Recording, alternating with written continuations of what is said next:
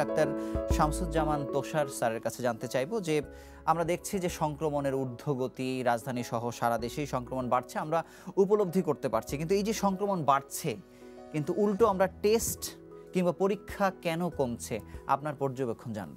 June মাসের সতেরো তারিখ থেকে তিরিশ তারিখ পর্যন্ত এই দুই সপ্তাহে আমাদের ডাক্তার ঢাকার ভিতরে ঢাকার ভিতরে সংক্রমণের হার ছিল আমার প্রতিষ্ঠানে যেগুলি পরীক্ষা হয়েছিল সেগুলি ভিত্তিতে বলছি ষোলো দশমিক সিক্স পার্সেন্ট এবং ঢাকার বাইরে ছিল সতেরো দশমিক নয় পার্সেন্ট অর্থাৎ জুনের শেষ দুই সপ্তাহে এই সংক্রমণের হারটা ঢাকা এবং ঢাকার বাহিরের অন্যান্য জেলা বা বিভাগে প্রায় সমান সমান ছিল। এই এই উপাত্তটাই যখন আমি আবার জুলাই মাসের শেষ দুটি সপ্তাহের সাথে তুলনা করি তখন আমরা দেখলাম যে ঢাকার এই সংক্রমণের হার সেটি আমাদের প্রতিষ্ঠান থেকে আমরা যত নমুনা পরীক্ষা করেছি সেখানে দেখা যাচ্ছে তার গড় হার হচ্ছে টুয়েলভ পার্সেন্ট অর্থাৎ বারো পার্সেন্ট আর ঢাকার বাহিরে তখন এটা বৃদ্ধি হয়ে উনিশ পার্সেন্ট শতকরা উনিশ ভাগ হয়ে গেল।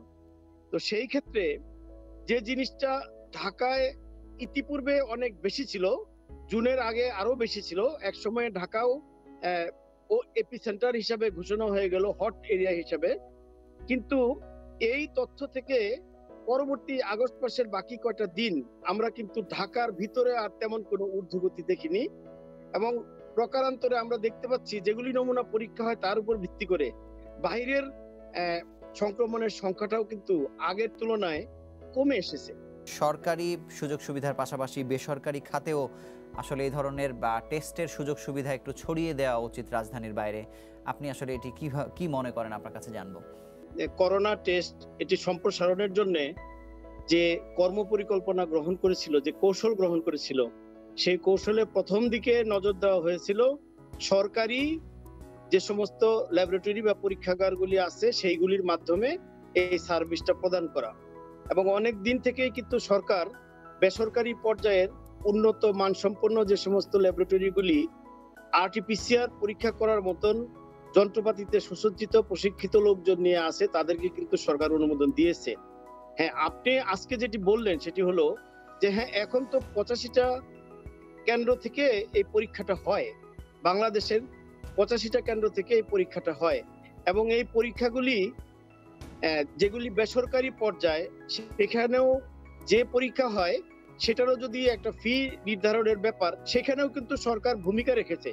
কারণ এই বেসরকারি পর্যায়ে যে ফি নিয়ে পরীক্ষা করা হয়, সেই ফিটা কিন্তু সরকারের নির্ধারণ করে দেওয়া।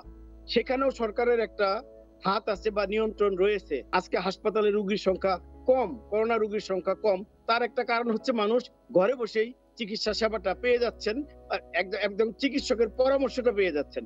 সেইভাবে টেস্টের ব্যাপারটাও যদি আমরা আরও বৃদ্ধি করতে চাই, আমার গ্রাম, আমার শহর, এই ধারণা থেকে, তাহলে গ্রামে যে টেস্টটা চলবে, সেই টেস্টটা হতে হবে অল্প খরচের, অল্প সময়ের মধ্যে করা যায়, খুব বেশি প্রশিক্ষিত জনবল লাগে না, সবার কাছে কাছে যাওয়া যায়, সেটির জন্য অ্যান্টিবডি ভিত্তিক যে দ্রুত শনাক্তকরণ প্রক্রিয়া, এটা সরকারের সক্রিয় বিবেচনায় রয়েছে সুতরাং আমি আশা করি সম্প্রসারণ টেস্টের হবে ওই ধারণাই যেটা মাননীয় প্রধানমন্ত্রীর ধারণাপত্রের মধ্যে সুন্দর করে লেখা আমার গ্রাম, আমার শহর।